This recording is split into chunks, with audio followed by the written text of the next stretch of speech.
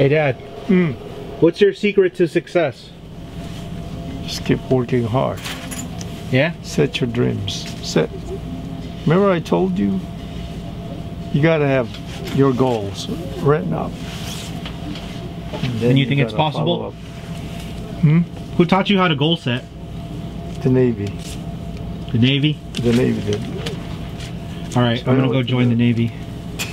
Uh, Pwedeng mag-order ng isang whole, ano, Erwin? Uh, pig Pwede. sa ano. I wanna, and the ribs, yung buong, buong pig. You mean you want to butcher? Yeah, I wanna butcher it, not slaughter it. Yeah, yung baby. fresh. Yeah. Yung ano lang, mga 20 pounds. What do you mean? Campaign. Good afternoon. Uh, this is uh, Mang Ed again.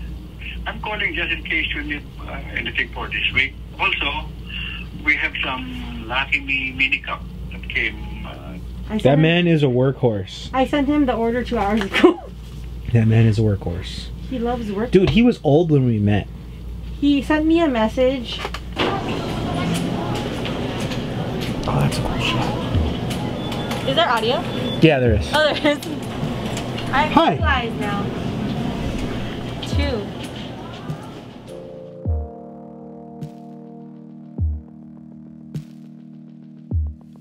when opening a small business, especially a small business that involves working side by side with your family members, something that you don't take into account is the dynamic of working with your mom, your dad, your brother, your sister, your auntie, your uncle, your cousin.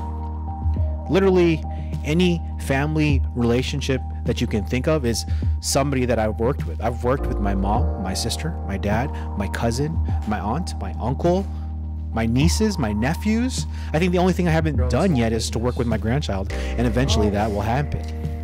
So, mom, He was, well, actually, your dad was, uh, he wanted to do a commercial building, but uh, he was, he was just gonna have it rented. That's why there were four doors. So, like, if somebody wanted just order the restaurant and the grocery, then the bakery, and then the office, they could individually rent it. But it was, it was actually my idea to open up a grocery store because how you know how like we used to live in Vacaville? And um uh, we used to go to Vallejo to Seafood City or whatever stores in there. And I, uh, I, I thought that uh, it's a much needed store for everybody that lives in the area for Suisun, Fairfield, or you know Vacaville. It's the motivation because I don't wanna. I already computed. Me, I am. I am t- ten years ahead of what I'm doing. I think ahead, so I found a way. The houses. Um, it's by uh, when you're desperate. When you are desperate, you will find a way. That's that's how I I discovered real estate. Real estate is the one that um, gave me a chance to make more money. So by the time I got out, right? So I'm still in the service, but by the time I retired, I already have eight houses.